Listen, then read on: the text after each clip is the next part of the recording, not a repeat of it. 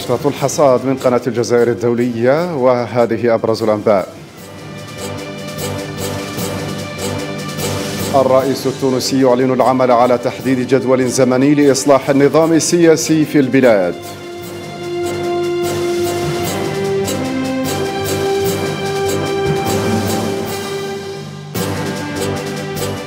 استمرار الاحتجاجات في السودان والشرطة تنفي تورطها في مقتل متظاهرين.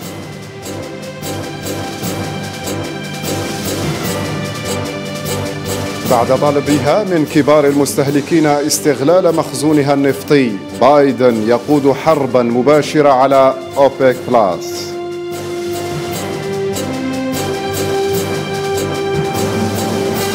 الجزائر ترفع من وتيرة صادراتها نحو أفريقيا وتطلق أكبر قافلة نحو موريتانيا والسنغال.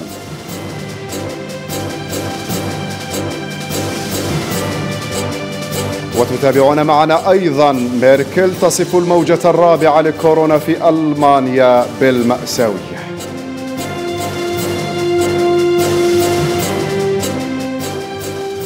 مرحبا بكم. قال الرئيس التونسي قيس سعيد إنه يعمل على ترتيب جدول زمني لإدخال إصلاحات على النظام السياسي بما يستجيب لمطالب التونسيين. سعيد وخلال الاجتماع الدوري لمجلس الوزراء شدد على استقلالية القضاء في بلاده.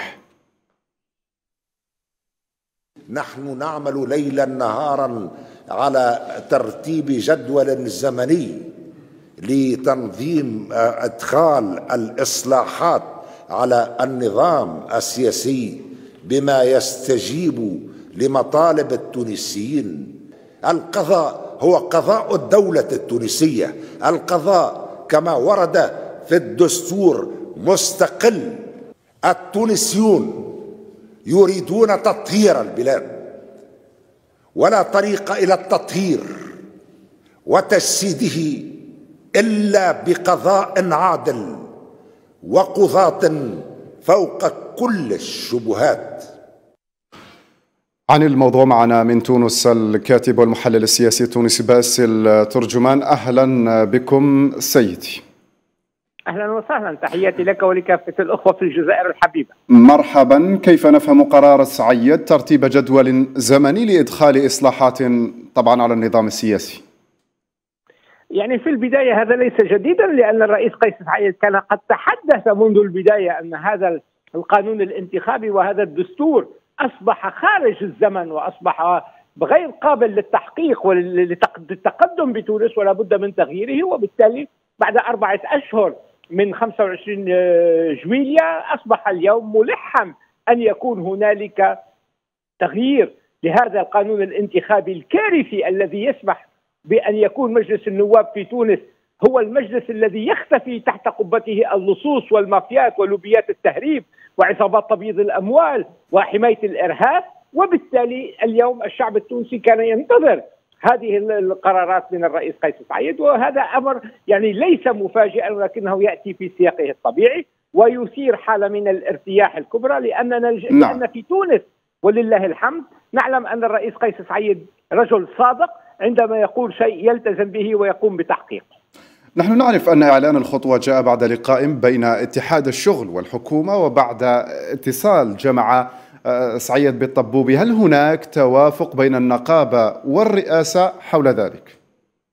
هنالك توافق بين الرئاسة والشعب حول ذلك والنقابة جزء من الشعب وبالتالي هذا التوافق هو توافق بين رئيس الجمهورية والشعب والاتحاد العام التونسي للشغل كأكبر منظمة نقابية تقف مساندة لأبناء شعبها لأن هؤلاء العمال والموظفين الذين تضرروا من منظومة الفساد ودفعوا غاليا ثمن هذا الفساد الذي ضرب تونس في السبع سنوات الماضية. هم جزء من هذا الشعب الذي خرج مساندا للرئيس قيس سعيد نهار 25 يوليو وبالتالي ليس هنالك هنالك توافق وطني عام.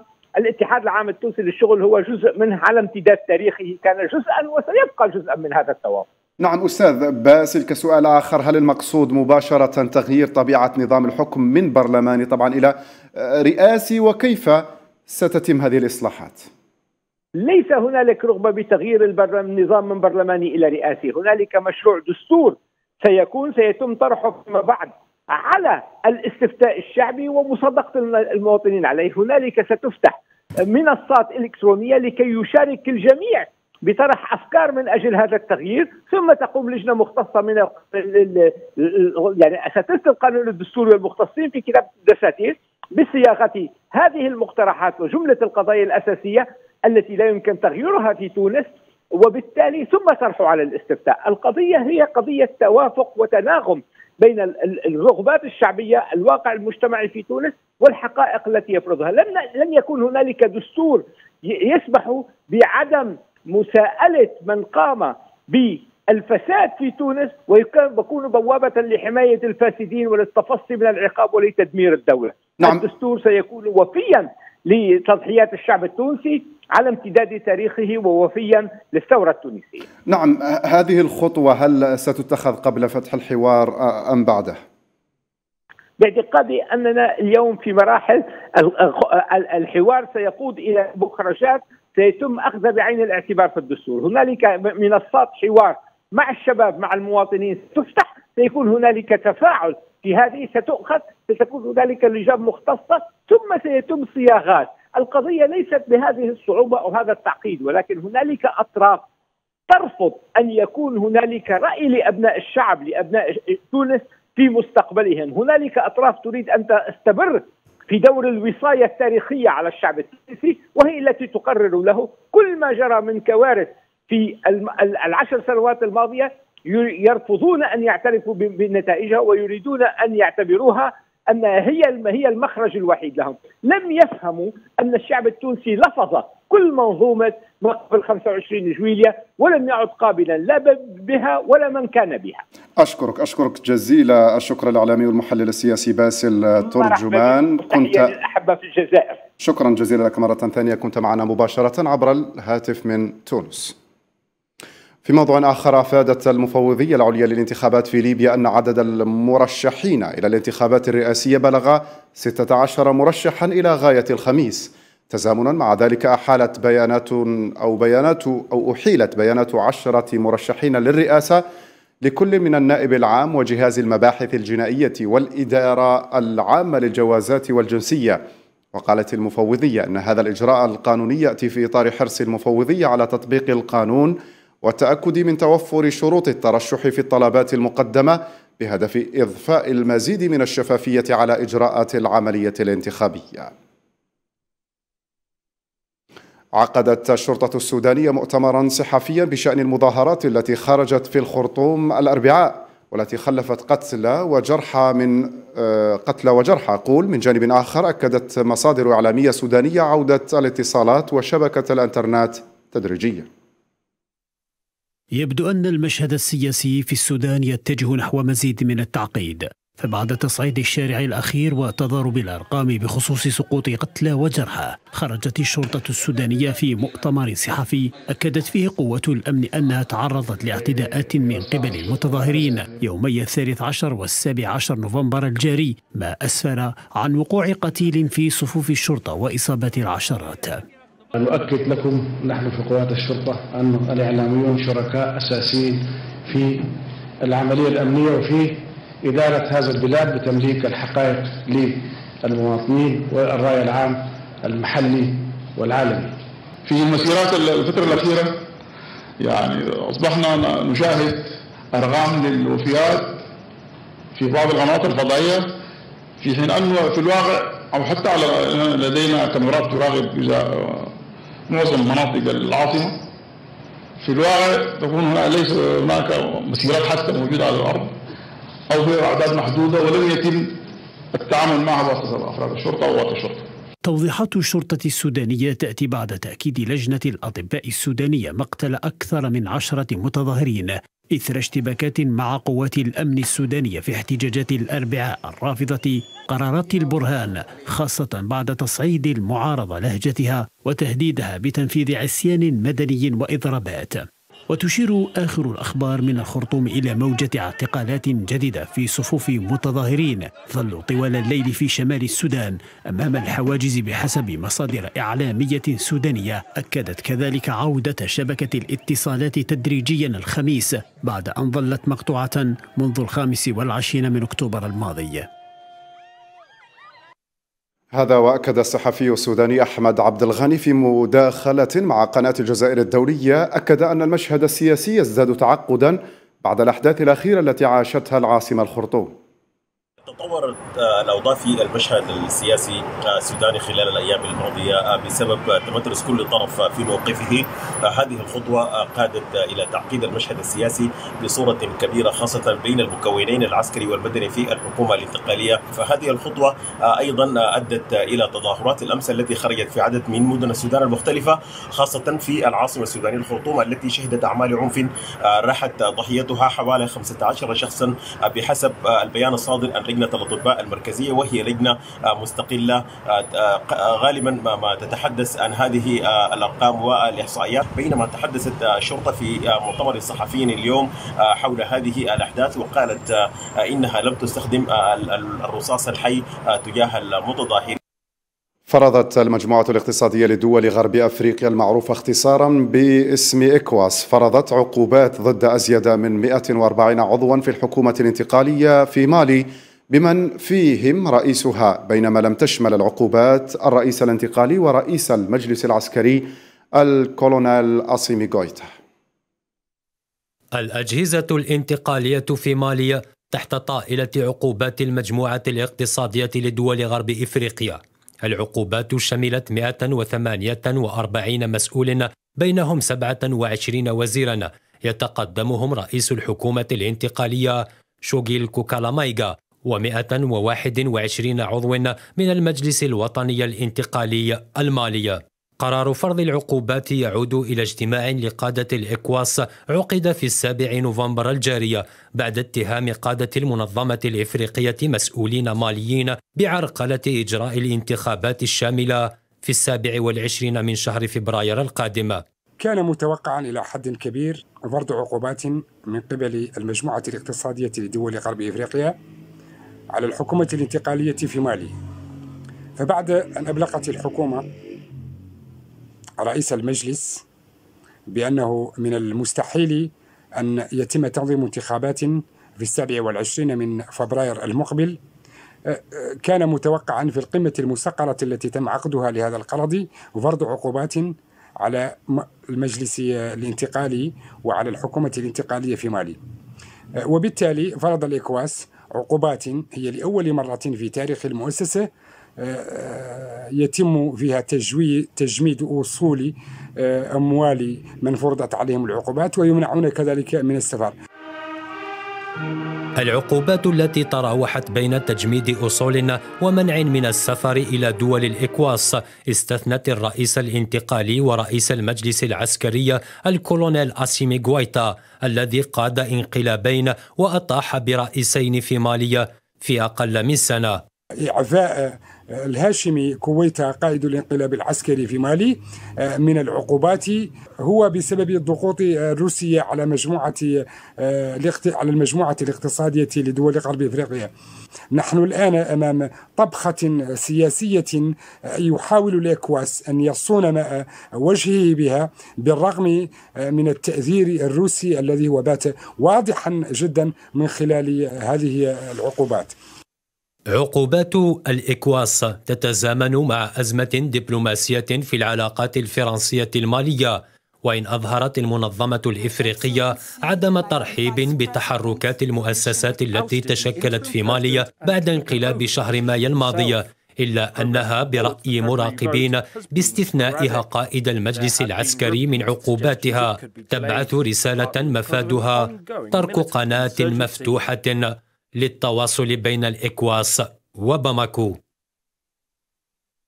أكد الرئيس البوركينابي أن الاختلالات الملاحظة في مكافحة الإرهاب سيتم تصحيحها. تأتي هذه التصريحات بعد ارتفاع عدد ضحايا الهجوم الإرهابي على المقر التابع للجيش في المناطق الشمالية إلى أكثر من خمسين شخصا.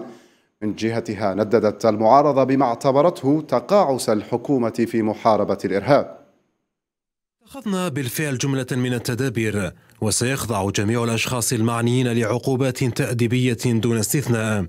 هكذا رد الرئيس البوركينابي كريستان كابوري على إثر الهجوم الإرهابي الأخير على مقر تابع للجيش في منطقة إناطا بالشمال خلف مقتل أكثر من خمسين شخصا ما بين عسكري ومدني. كابوري ورغم طرحه عدة سياسات أمنية جديدة شملت حتى إقالة وزراء دفاع على غرار ما حدث بحر هذا الأسبوع. يتعرض مؤخرا لانتقادات لاذعة من المعارضة البوركينابية التي نددت بتقاعس الحكومة في محاربة الإرهاب بل ذهبت أبعد من ذلك باتهام الدولة بالتخلي عن دعم الجيش في ميدان العمليات وأعلنت تعليق مشاركتها في كافة المؤسسات الوطنية خاصة في لجنة متابعة الحوار السياسي. ولجنة متابعة وتوجيه المصالحة الوطنية. ردود فعل غاضبة ومظاهرات شعبية شهدتها عدة مدن في البلاد مطالبة باستقالة المسؤولين. بسبب ما اعتبروه عدم القدرة على وقف الهجمات الإرهابية التي تنفذ غالبا في الشمال والشرق القريبين من مالي ونيجر أو ما أضحى يسمى مثلث الموت. وبحسب بيانات الأمم المتحدة فإن 17500 شخص غادروا بوركينا فاسو منذ مطلع العام الحالي بسبب مخاوف أمنية على حياتهم. يواصل وزير الخارجية الأمريكي أنتوني بلينكن جولته الأمريكية أو الأفريقية بزيارة نيجيريا والسنغال بعد أن استهلها بكينيا. وقال بلينكن في نيروبي إن واشنطن تعمل مع أديس أبابا والاتحاد الأفريقي لممارسة الضغط على كافة الأطراف لوقف القتال في إثيوبيا. داعيا الأفارقة للبقاء يقظين أمام ما اعتبرها تهديدات للديمقراطية. قالت مصادر إعلامية إن إدارة الرئيس الأمريكي جو بايدن طلبت من بعض الدول الكبرى المستهلكة للنفط في العالم ومنها الصين والهند واليابان دراسة استخدام احتياطياتها من الخام في مسعى منسق لخفض الأسعار وتحفيز التعافي الاقتصادي. يأتي هذا الطلب غير المعتاد في وقت يقاوم فيه بايدن ضغوطا سياسية جراء ارتفاع أسعار البنزين. ما كان مجرد تحذير ووعيد بات حربا وجودية بين أوبك بلاس وبايدن الذي دشن بوادر تحالف دولي في مواجهة الكارتل النفطي. بالكشف عن طلبات أمريكية لكبار المستهلكين للنفط قصد استخدام احتياطاتهم الاستراتيجية لمواجهة ارتفاع أسعار الخام وما ترتب عنه من زيادات غير مسبوقة في أسعار الوقود في الولايات المتحدة الأمريكية. قائمة الدول المعنية بالطلب الأمريكي شملت الهند واليابان وكوريا الجنوبية وحتى الصين التي وإن اختلفت المواقف وتباينت الاستراتيجيات الأمريكية مع ما تراه بكين فإن مصلحة خفض أسعار الذهب الأسود قد يدفع ثاني اقتصاديات العالم للاصطفاف إلى جانب واشنطن في توجه صيني نادر. في مواجهة ما تسميه إدارة البيت الأبيض بتمرد كبار المنتجين لا تتوانى إدارة بايدن في استغلال جميع الوسائل لصد محاولات التحالف النفطي بقيادة روسية سعودية للخروج عن بيت طاعة دركي العالم. في حرب بدايتها رسالة واضحة وملموسة بسحب كميات قد تصل ل 30 مليون برميل من الاحتياطي الاستراتيجي للنفط في أكبر البلدان استهلاكا للخام في العالم. حرب كسر العظام بين بايدن وأوبك بلس بدأت فعليا في وقت يتمسك جل أعضاء التحالف النفطي بمواقفه إزاء مواصلة سياسة رفع الإنتاج التدريجي بحدود 400 ألف برميل يوميا خلال ديسمبر المقبل بالتزامن مع توقعات بعودة العالم إلى تخمة المعروض في غضون الربع الأول من العام القادم. عن الموضوع ينضم إلينا مباشرة عبر خدمة سكايب من تكساس الأمريكية الخبير النفطي أنس الحجي. أهلا بكم سيدي. يا مرحبا حياكم الله. أهلا وسهلا. طلب أمريكي غير معتاد باللجوء إلى الاحتياط النفطي في أكبر الدول المستهلكة. هل هي حرب تشنها واشنطن على أوبك بلاس تحديدا؟ آه لا, لا لا يمكن أن يكون ذلك هو حرب على أوبك. آه دعني أذكر بعض الحقائق في هذه الحالة. آه، الحقيقة الأولى أن شعبية آه، بايدن في تدهور مستمر في الأسابيع الأخيرة حتى محاولاته ترويج القانون الجديد اللي هو حزمة الحزمة المالية الجديدة لإنعاش الاقتصاد فيما يتعلق بالبنية التحتية لم تنجح واستمرت الأرقام بالهبوط فهو في حاجة إلى أي شيء لزيادة شعبيته. الأمر الآخر عندما نتكلم عن المخزون الاستراتيجي المفروض أن يذهب إلى وكالة الطاقة الدولية آه، هذا ما حصل قديما وهذا ما حصل خلال آه، العقدين الماضيين. لماذا لم يذهب إلى وكالة الطاقة الدولية؟ لأن وكالة الطاقة الدولية قالت أن هناك فائض في الأسواق أو سيكون هناك فائض في الأسواق. لذلك ليس هناك عجز في أسواق النفط بدليل ارتفاع المخزون الأمريكي بنحو 20 مليون برميل آه، في الأسابيع الأخيرة. الأمر الثالث لماذا اختيار هذه الدول بالذات؟ آه، عندك آه، كما ذكرتم في التقرير عندكم نعم. الهند عندكم آه، الصين عندكم اليابان عندكم كوريا الجنوبية. ولماذا اللجوء لهم والكميات التي سي يعني سيفرجوا عنها كمية قليلة؟ السبب أن كلهم هم عملاء إيران ويشترون من إيران. أكبر عملاء إيران هم هذه الدول الأربعة. فهل الأمر متعلق في إيران؟ هل إذا إذا السبب مرتبط بإيران على قولكم. نعم آه، هل يحاول بايدن الضغط على إيران لتأتي إلى طاولة المباحثات وإيران ترفض وبالتالي هو يحاول أن يشدد العقوبات لإجبار إيران على ذلك والقول والفكرة هنا أنهم إذا استخدموا الاحتياط الاستراتيجي فيستطيعوا أن يخففوا وارداتهم من آه، إيران في هذه الحالة. آه، دعني أذكر نقطة أساسية هنا بالنسبة للأمن القومي الأمريكي. بالنسبة للأمن القومي الأمريكي نعم. هناك فكرة قديمة وهي أنه أي شيء يحدد خيارات الأمم المتحدة في التعامل مع أي دولة عالميا هو تهديد الأمن القومي الأمريكي، وبالتالي إذا كانت هناك خمس خيارات للتعاون مع آه للتعامل مع إيران أو التعامل مع أي بلد آخر وارتفاع أسعار النفط سيحدد هذه الخيارات الخمسة بثلاثة فقط فيعتبر هذا تهديد للامن القومي الأمريكي. نعم لذلك لو نظرنا له من ناحية انتخابات وموضوع بايدن أو موضوع إيران فهو موضوع مهم بالنسبة لبايدن ولكن غير مرتبط في أوبك مباشرة. في سبب آخر وهو تخفيف زب أزمة البنزين في الولايات المتحدة الأمريكية، هل ترمي هذه الخطة إلى ذلك؟ طبعا موضوع ارتفاع أسعار البنزين هو دائما مشكلة نعم. لأي رئيس أمريكي، هذا معروف. القضية هنا أن استخدام النفط الخام لن يؤثر في أسواق البنزين، السبب هو التالي أن المخزون الأمريكي بارتفاع كما ذكرت ارتفع بحدود 20 مليون برميل في الاسابيع الأخيرة. في الوقت نفسه لو قارنا مدخلات النفط في المصافي الأمريكية في عام 2018 مقارنة بالحالية فهي أقل بنحو مليون برميل آه، يوميا. اذا المشكلة في المصافي بعبارة أخرى حتى لو سحبوا النفط من المخزون وجاءوا بها إلى المصافي المصافي لن تستخدمها لأنه ليس هناك طاقة استيعابية للمصافي فلن تحل أزمة البنزين. نعم. لذلك هناك تفكير تجاه إيران أكثر منه إنه هو أسواق أمريكية. نعم، كيف تقرؤون توجهات أسعار النفط على المدى المتوسط والبعيد بعد هذا الطلب الأمريكي؟ بشكل عام حتى لو سحبوا 30 40 60 مليون برميل هذا لن يؤثر في الاتجاهات العامة لأن الاتجاهات العامة بارتفاع وهناك نقص يكون هناك نقص شديد آه، خلال ال 24 شهر القادمة بسبب انخفاض الاستثمارات في السنوات الأخيرة ولأسباب أخرى بسبب انتعاش الطلب على النفط وبسبب فشل سياسات الحياد الكربوني في أوروبا وغيرها. آه، فهناك عدة مشاكل في آه، في في المعروض وهناك طلب زائد أيضا. فيؤدي إلى هذه الأمور. شكرا جزيلا لك الخبير النفطي أنس الحجي كنت معنا مباشرة عبر خدمة سكايب من تكساس الامريكيه.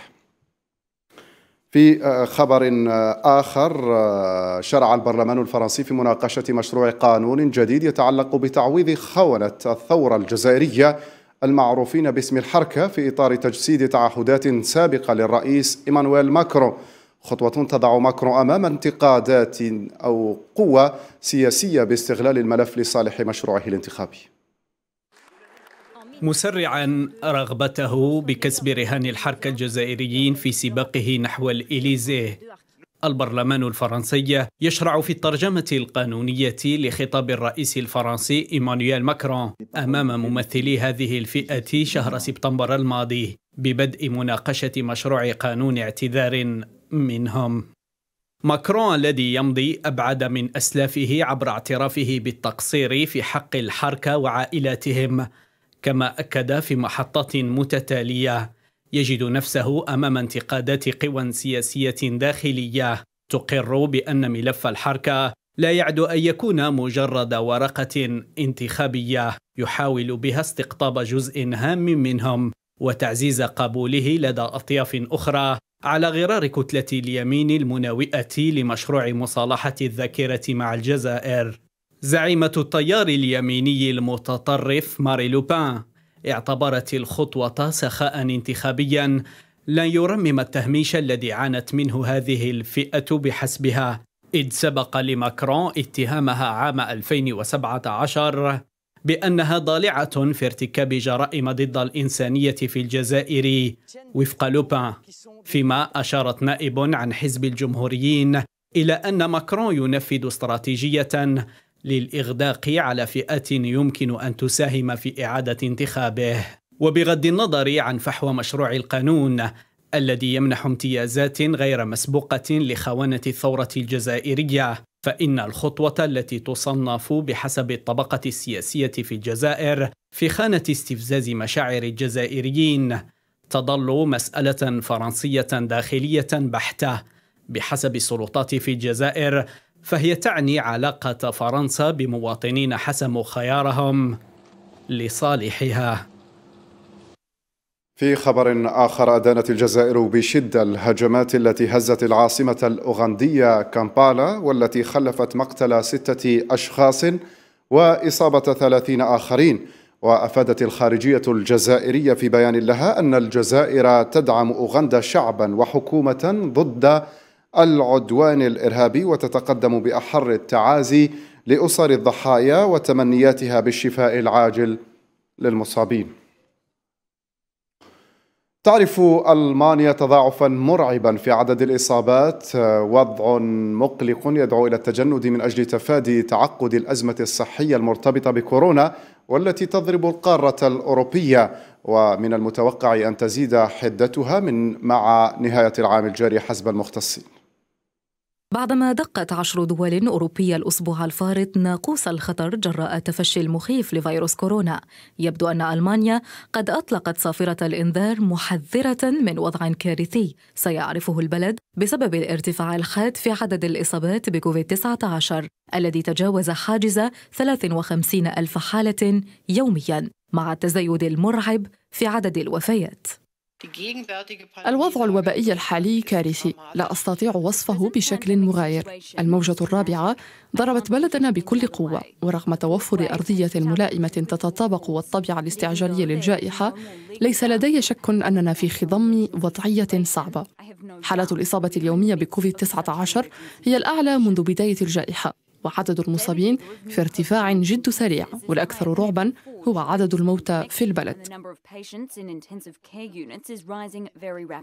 موجة رابعة تضرب واحدة من أكبر وأقوى الدول الأوروبية ألمانيا. حسب ما أفاد به خبراء رغم أن برلين كانت سباقة لعمليات التلقيح التي عرفت كذلك موجة احتجاجات رافضة لها.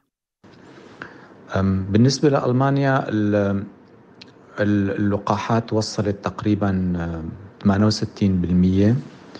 يعني هذا شيء كويس بس طبعا غير كافي لتحقيق مناعة القطيع. أكيد المستشفيات يعني متوقع أنه بعد شيء أسبوعين تسكر يعني ما تقدر تستقبل مرضى.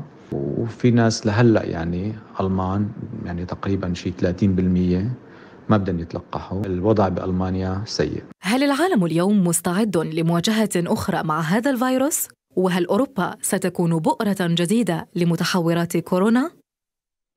طرحت شركة أسترازينيكا الخميس عقارا وقائيا يحمي من مرض كوفيد-19 يعطى عن طريق الحقن لغير المصابين ليكون متاحا في الأسواق لمن لا يستجيبون للقاحات بشكل كاف وقالت استرازينيكا إن هذا العقار المصنوع من مزيج من الأجسام المضادة يوفر حماية بنسبة 83% لمدة ستة أشهر. يعتقد البعض أن اللجوء لاستخدام السيجارة الإلكترونية قد يكون بديلا للسيجارة التقليدية ولذلك يثير استعمال هذا النوع من السجائر جدلا لدى خبراء الصحة حول نجاعتها في التخلص من الإدمان على التدخين.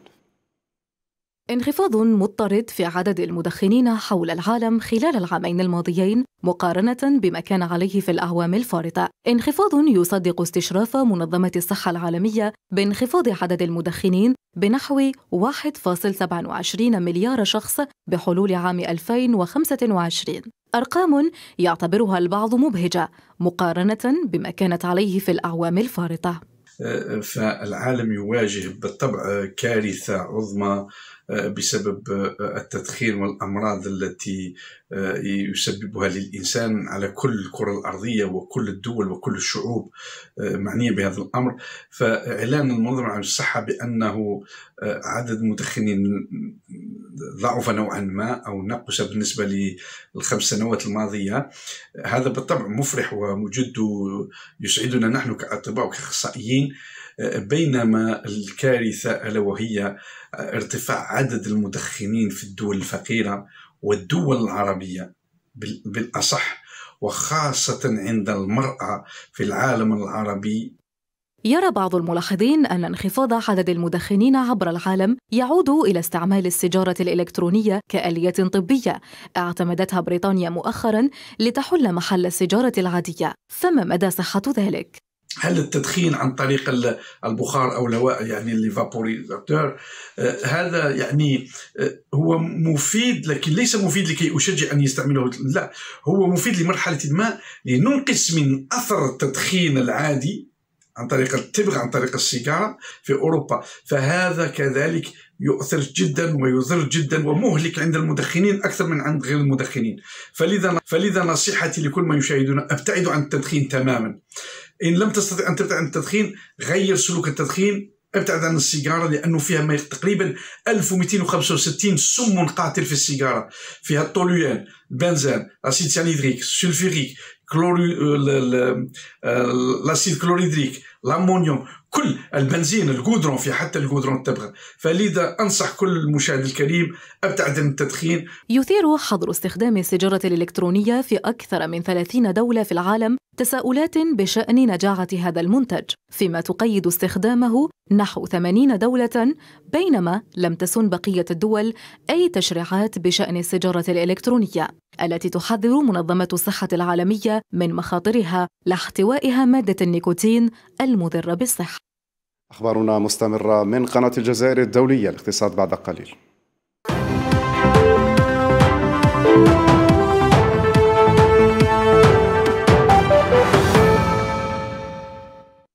مرحبا بكم ومرحبا بالزميل وليد وأخبار أهلا. الاقتصاد. أهلا زميلي عبد الغفور. اذا في الحصاد الاقتصادي تراجع مخزون النفط الخام في الولايات المتحدة الأمريكية خلال الأسبوع الماضي لأدنى مستوى له منذ 2003 وكشفت إدارة معلومات الطاقة الأمريكية عن تراجع مخزونات الخام بمقدار أكثر من مليوني برميل على مدار الأسبوع المنتهي في الثاني عشر نوفمبر الجاري مقارنة مع توقعات محللين بزيادة قدرها مليون وأربعمائة ألف برميل.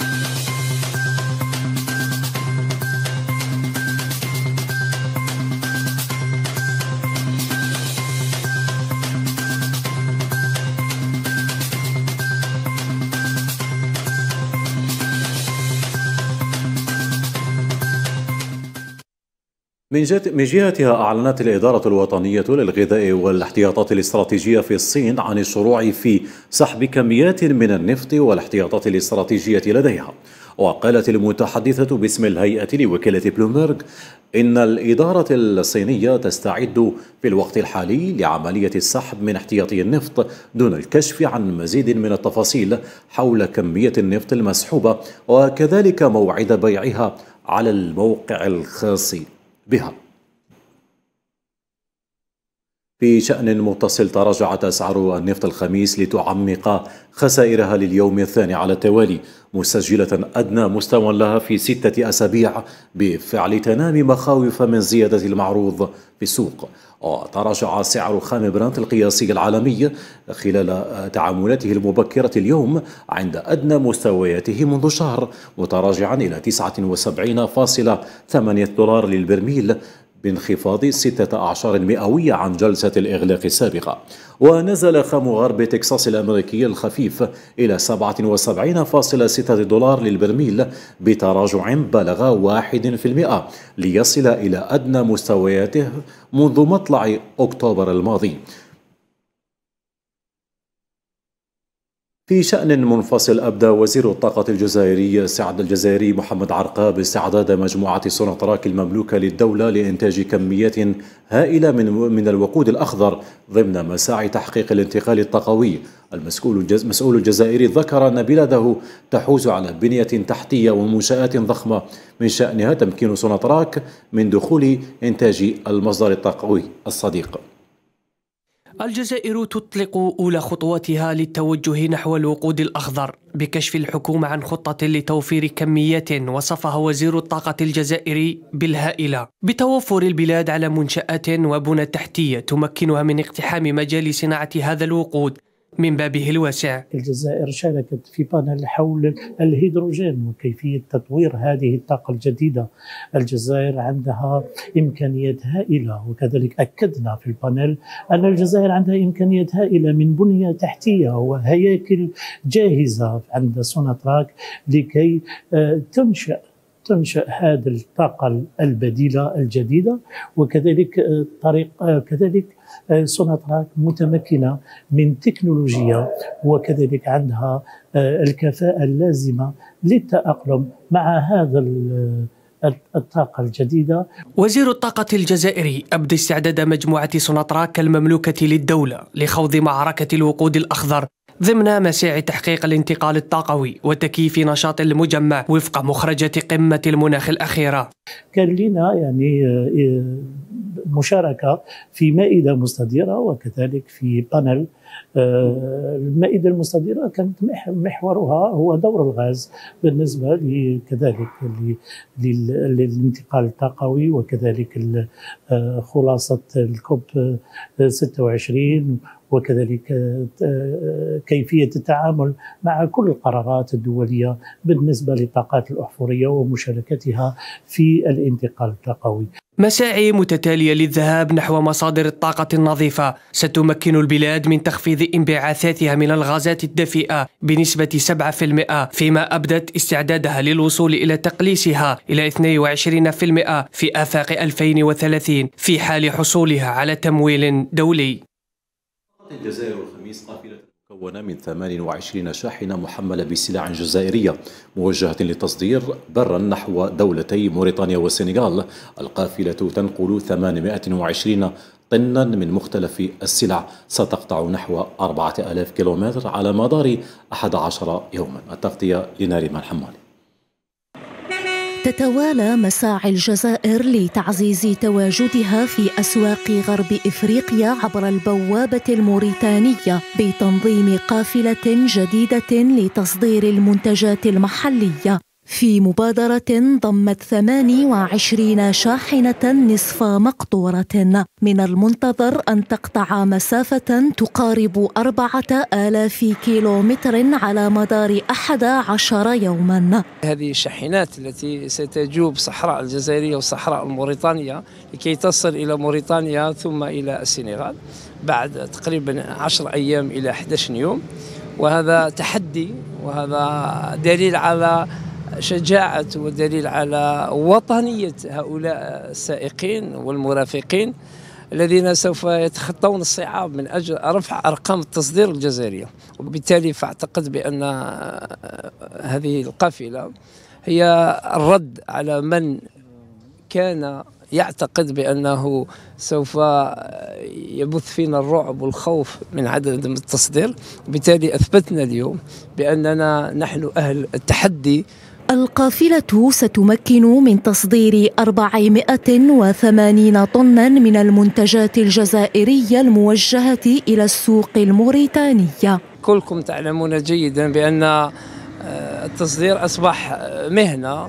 آه، التصدير أصبح شيء ضروري بالنسبة للاقتصاد الجزائري وبالتالي وجودنا في هذه العملية ما هي إلا إشارة منا إشارة من السلطات العمومية على بقائنا ودوام عملنا من أجل العملية التصديرية.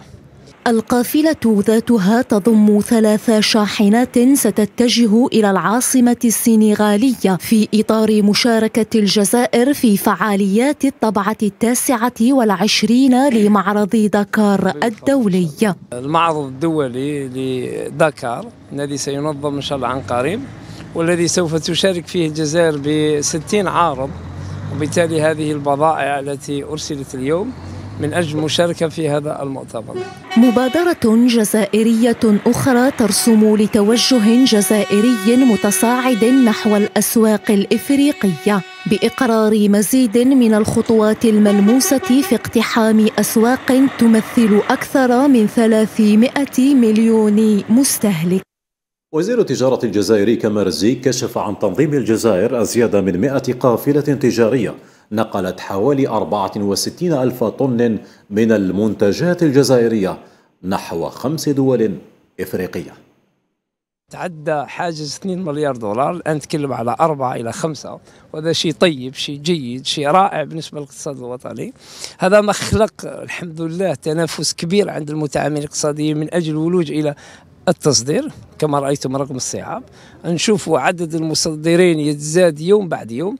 نشوفوا حجم التصدير وشعب التصدير تزداد يوم بعد يوم وهذا نتيجة سياسة رشيدة كما أشرت إليها سلفا للسيد الرئيس وأيضا للحكومة. وبالتالي نشتغل يد في اليد. سنرفع الأرقام التصدير إلى أرقام تليق بمقام الشعب الجزائري تليق بمقام الدولة الجزائرية وتليق بمقام الإمكانات الهائلة البشرية والمادية الموجود لها آخر خبر في الحصاد الاقتصادي. أعود إليك سمير عبد الغفور. شكرا جزيلا لك الزميل وليد مذكور. مشاهدينا الكرام أخبارنا متواصلة. الرياضة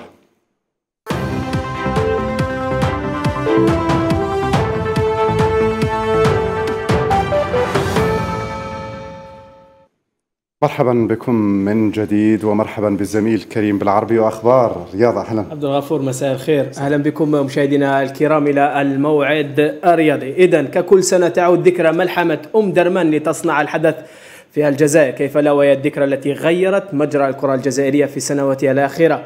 لكن الاختلاف هذه السنة هو إمكانية تواجه المنتخبين الجزائري والمصري في مباراة السد من تصفيات كأس العالم قطر 2022 12 سنة كاملة تمر على أحد أشهر المباريات التي شهدتها القارة الإفريقية. مباراة السد المؤهلة لكأس العالم 2010 التي جمعت منتخبي الجزائر ومصر في أم درمان بالسودان والتي عرفت تأهل الجزائر إلى المحفل العالمي.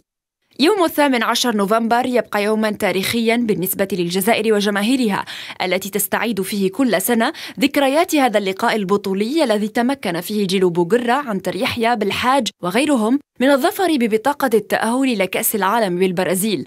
على حساب الجيل الذهبي للمنتخب المصري بقيادة أبو تريكة متعب وعمرو زكي.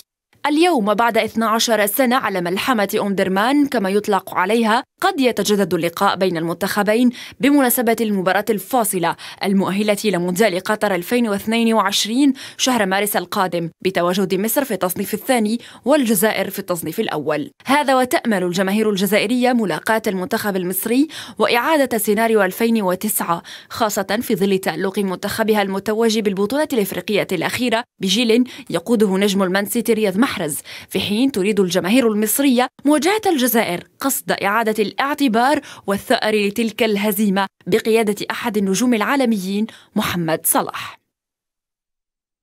في موضوع آخر تستعد دولة قطر لاحتضان نهائيات كأس العالم شهر نوفمبر من السنة المقبلة.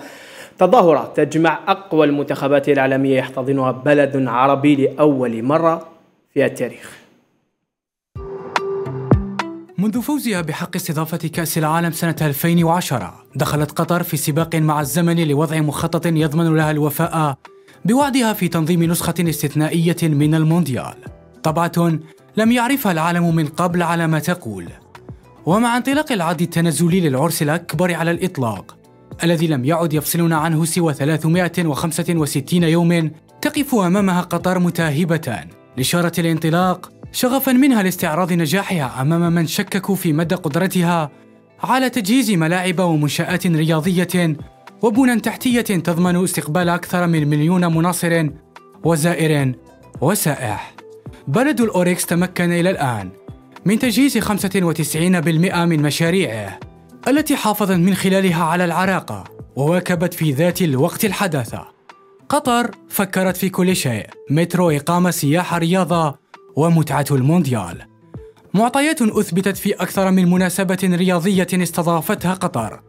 ويبقى الامتحان الذي يعطي الجواب اليقين قبل مونديال 2022 هو موندياليت العرب الذي ينطلق نهاية الشهر الحالي. وأمام كل هذا يزداد سعي جل المنتخبات التي لم تتأهل بعد إلى هذا المحفل العالمي للظفر بمقعد يضمن تسجيل اسم كل منتخب مشارك. في مونديال عالمي بعبق عربي. وصل مساء اليوم جثمان الملاكم السابق لوصيف حماني إلى الجزائر بعدما توفي الأربعاء الفارط بالعاصمة الفرنسية باريس عن عمر يناهز 71 سنة. وكان في استقبال جثمان الراحل بالقاعة الشرفية التابعة لمطار هواري بومدين بالجزائر العاصمة. المستشار بالرئاسة عبد الحافظ علاهم ووزير الخارجية رمضان العمامرة بالإضافة إلى وزير الشباب والرياضة عبد الرزاق سبقاق وعدد من الوجوه البارزة في الساحة الرياضية الراحل سيوارى الثرى ظهر الغد بمسقط رأسه بولاية تيزي وزو toutes mes condoléances. Merci beaucoup, monsieur. Merci beaucoup. Super. Merci beaucoup. Et vous êtes là pour assurer la relève. On compte sur vous. Merci on est beaucoup. fiers de vous, comme on était fiers de Inch'Allah. Rabbi. Barakallahu. Merci, frère. Merci bon beaucoup. courage, bonne chance. C'est son fils, oui. Conseiller du président. الله يرحمه ويوسع عليه.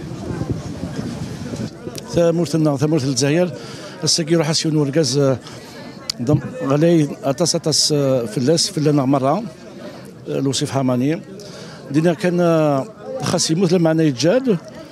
يتجاد سات فرحيس ثمورتنا ثمورتنا الجزائر ثمنات القبايل On a perdu un champion, on a- j'ai perdu. خسرنا بطلا وخسرت أبي. إنه نصفي. الحمد لله أحضرناه إلى أرض الوطن. أشكر الرئيس الجزائري عبد المجيد تبون الذي قدم تعازيه لكل عائلة حماني. Euh.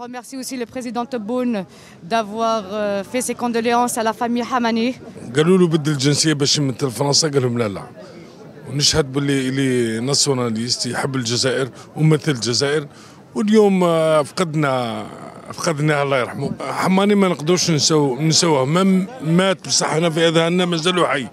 أنا عندي راه حي ما نقدروش نسوه أنا أعزي عائلة لوصيف حماني وعائلة الرياضية الجزائرية وخاصة عائلة الملاكمة. لوصيف حماني آه، برحمة الله يعني رحموا عليه اللي كان خلى آه، اثر كبير في الملاكمه الجزائرية وكان آه، جلب عدة ملاكمين لهذه الرياضية. أعلن دولي الكاميروني السابق سامويل إيتو ترشحه رسميا لرئاسة الاتحاد الكاميروني لكرة القدم الذي أصبح شاغرا عقب إلغاء رئاسة سايدون بومبو نجويا بقرار من محكمة التحكيم الرياضية. ويأتي ترشح إيتو في ظل الأزمة التي يعاني منها الاتحاد الكاميروني منذ عدة أشهر. حيث يعول نجم برشلونة السابق على إعادة بناء وتطوير كرة القدم الكاميرونية خاصة وأن بلاده مقبلة على احتضان كأس أمم إفريقيا جانفي الداخل ويعد صامويل إيتو أحد الوجوه البارزة في كرة القدم العالمية والإفريقية حيث لعب لعدة أندية أوروبية على غرار برشلونة الإنتر تشيلسي ومايوركا الإسباني وغيرها. كما يعتبر إيتو الهدف التاريخي لأمم إفريقيا الفائز بلقبها مرتين.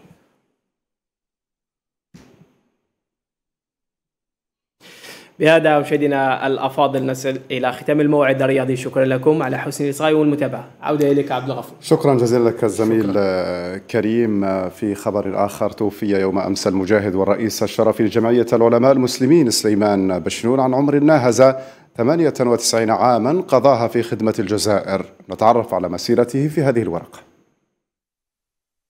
إذا تحدثنا عن الثورة فهو واحد من أبطالها وإذا خضنا في تفاصيل القلم هو واحد من مجاهدي العلم كيف لا؟ وهو من أهم أعضاء جمعية العلماء المسلمين الجزائريين ورئيسها الشرفي. هو العالم الفذ سليمان بشنون المولود في السادس من ماي من عام 1923 بمدينة ميلا شرق الجزائر. التحق بمسجد القرية وحفظ القرآن في سن الثالثة عشرة وأشرف فيما بعد على مدرسة بتكسنة وألقى فيها دروس التعليم الديني واللغوي. وفي سنة 1945 انتقل إلى مدرسة العرب تبسي. بعدها شد الرحال إلى تونس ليلتحق بجامع الزيتونة حيث مكث هناك إلى غاية 1951 وبعد ذلك عاد إلى الجزائر فعينه الشيخ البشير الإبراهيمي معلما بدار الحديث بتلمسان. التحق الشيخ بشنون بالثورة عام 1955 كغيره من الطلبة والأساتذة المنخرطين في جمعية العلماء المسلمين الجزائريين الذين انقطعوا عن الدراسة والتدريس لمباشرة نضال المعارك بعد نضال الإصلاح الفكري. أصدر بشنون أكثر من عشرين مؤلفاً منها الإصلاح والصلاح والجذور الشعبية في الحركة الإصلاحية. وكتاب المربعات الإنسانية في الشريعة الإسلامية. كتب بشنون من أجل الدفاع عن ثوابت الأمة وكذا محاربة الغزو الثقافي وترسيخ الهوية الوطنية. عين رئيسا شرفيا للجمعية رفقة العلامة الطاهر أيت علجت. شغل بشنون منصب مستشار لوزير الشؤون الدينية سنة 1987 ثم تفرغ لإلقاء الدروس والخطب في العديد من مساجد الجزائر كما كتب في مجلة الجيش وجريدة البصائر. رحل العالم الزاهد الذي أفنى عمره في الإصلاح فهو شيخ أصله ثابت في الأرض وفرعه في السماء. ختام نشرة الحصاد إلى التذكير بأبرز العناوين. الرئيس التونسي يعلن العمل على تحديد جدول زمني لإصلاح النظام السياسي في البلاد.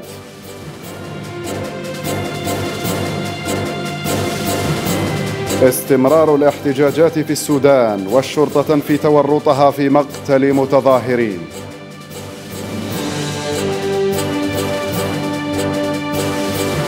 بعد طلبها من كبار المستهلكين استغلال مخزونها النفطي بايدن يقود حربا مباشرة على أوبيك بلاس.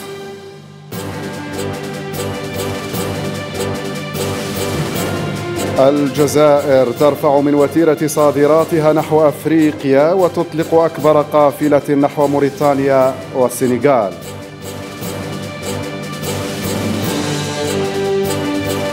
وتابعتم معنا أيضا. ميركل تصف الموجة الرابعة من كورونا في ألمانيا بالمأساوية. شكرا على المتابعة. إلى اللقاء.